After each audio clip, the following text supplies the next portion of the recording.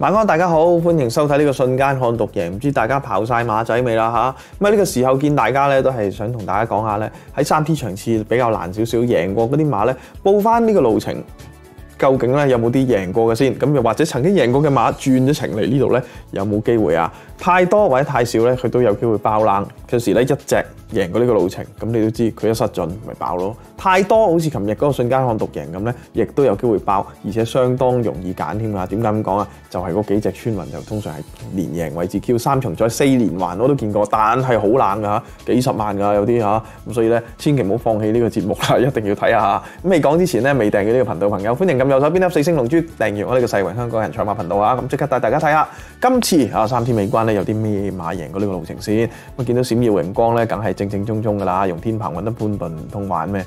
咁啊，另外齊齊有福啦，都贏過呢個路程嘅，咁我即管俾個黃心佢啦。飛馬輝煌咧算係強嘅嚇，相當準啊，跑三次有兩次喺冠亞嘅，梗係要啦。咁另外黃龍福將頂頭大熱㗎啦，應該都唔係三班馬嚟嘅呢隻，好犀利。月球試集幾靚嘅，不過處女馬睇下先啦。跟住勇闖咧新馬嚟嘅喎，中環六十六咧，有啲講咗金槍六十，跟住四季起啊，呢啲都係新馬啦。快樂觀歡騰咧，佢贏過一次嘅，不過就喺谷草咯，咁咪俾翻個紅色心心佢啦。話晒都叫從情點都俾下面啩，係咪先？咁啊，另外咧，勇闖咧都係新馬啦，頭先講過啦。咁，去到蓮花江玉咧，啊成日漏閘呢隻馬，呢啲都唔係咁衰嘅馬嚟嘅，應該啊，睇個樣望多兩鋪先啦。咁啊，有運來都係啦。咁醒旺財咧，之前成日都追佢啊，未開齋喎，睇下今次二檔騎成點啦。去到後面啦，活力長勝咧，贏過一次呢個路程價，千祈唔好忘咗忘記佢啊！忘記佢呢啲冷門咧，就成日開出嚟好麻煩。